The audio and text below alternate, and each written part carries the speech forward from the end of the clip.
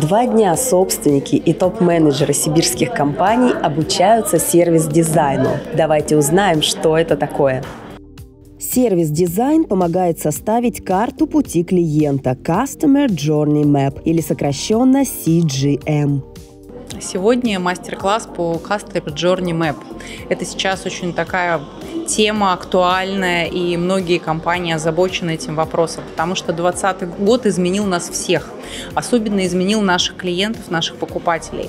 И вот мы здесь как раз собрались на эти два дня для того, чтобы исследовать клиентский опыт и прописать Customer Journey Map для наших компаний. Как же составляется карта пути клиента?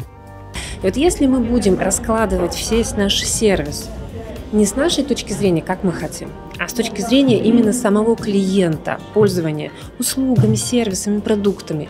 Неважно, у нас рынок B2B или B2C, если мы научимся прям очень детально раскладывать по таким шагам, то мы увидим для себя много полезного. Что там такое? Потому что на каждом шаге человек может не справляться с задачами, у него могут появляться вопросы, на которые он не получает ответы, например. У него могут быть какие-то эмоции, которые мешают ему сделать следующий шаг, а это про конверсию и так далее и тому подобное подобное. То есть вот детальная такая подробная очень а, распаковка пути клиента по шагам. Роман занимает нетривиальную должность, является руководителем управления операционного счастья сотрудников в одном из банков. Он считает, что сервис-дизайн важен не только для построения отношений с клиентами, но и с командой. Главная задача бизнеса – делать клиента счастливым, а счастливым клиента может сделать только счастливый сотрудник и все, что с этим связано. То есть э, процессы, в которые вовлечены как сотрудники, так и клиенты и, собственно, продуктовое наполнение. Ирина Баранова проводит такие мастер-классы крайне редко. Поэтому сегодня в Новосибирск приехали не только желающие обучиться сервис-дизайну из городов Сибири, но и из более отдаленных населенных пунктов, например, из Москвы с учетом пандемии, что мы видим сейчас в стране, выживают э, компании, которые реально нацелены на взаимоотношения с людьми. Вот это искренний душевный подход, который транслируется именно через клиентский сервис.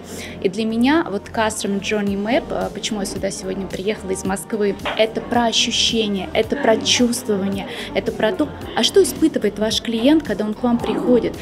Неожиданный поворот. Середина мастер-класса, но все участники куда-то расходятся. Что происходит? Оказалось, что мастер-класс состоит не только из теории, но и требует от участников незамедлительных практических действий.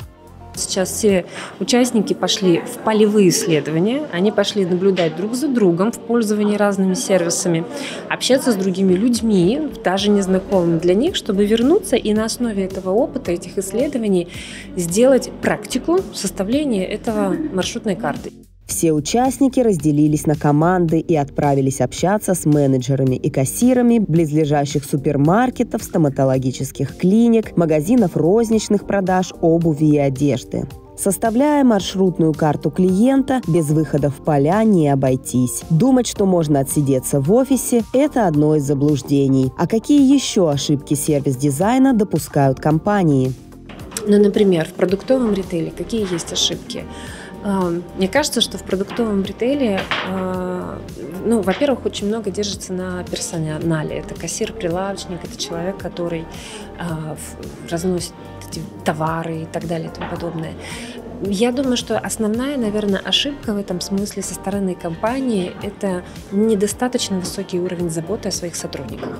Потому что сотрудник может реально обслужить э, клиента и быть к нему со всей эмпатией и со всей помощью тогда, когда он сам ощущает эту заботу вокруг себя. Конкурентоспособность компании невозможна без сервиса. Причем сервиса всеобъемлющего в отношении не только к клиенту, но и ко всем без исключения сотрудникам. Тщательно работайте над вашим сервисом и держите на вооружении Customer Journey Map.